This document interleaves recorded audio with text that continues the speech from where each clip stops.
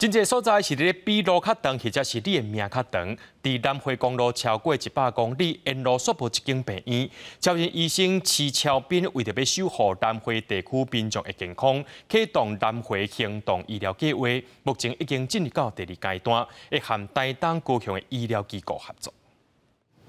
孙子生病了，阿妈背着他，用跑的，在一个山路上面奔跑，跑到。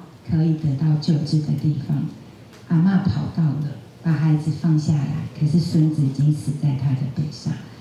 用真贴心的故事讲出台东医疗资源的不足。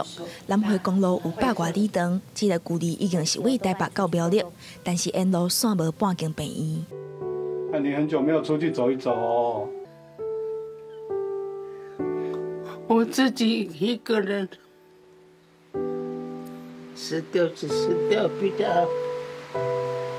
基金会拍一支影片，讲出偏乡的医疗资源是真欠缺。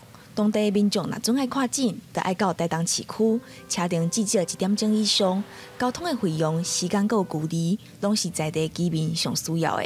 这个计划主要负责医师是表示，看诊的所在无一定伫病院，也可能是别人引导的房间或者是客厅。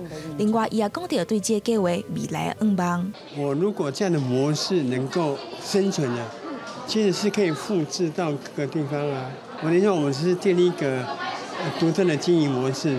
那如果这个是成功的，那可能其他的偏向，包括北回地区，也许要用北回北回的医药体系。